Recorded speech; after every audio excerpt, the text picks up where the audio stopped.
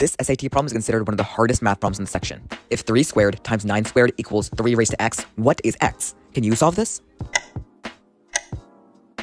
We can see here that 3 raised to x has a base of 3, and 3 squared has a base of 3.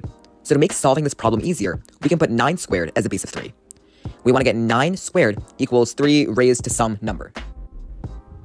Well, we know 3 squared equals 9, so we can substitute 3 squared into 9 squared to get 3 squared squared. In order to solve this problem, you must know your power properties. Here, we're going to use the power to a power property, where if a power expression is raised to an exponent, then you multiply the exponents but keep the base. We'll multiply 2 times 2 to get 4, then we get 3 raised to 4.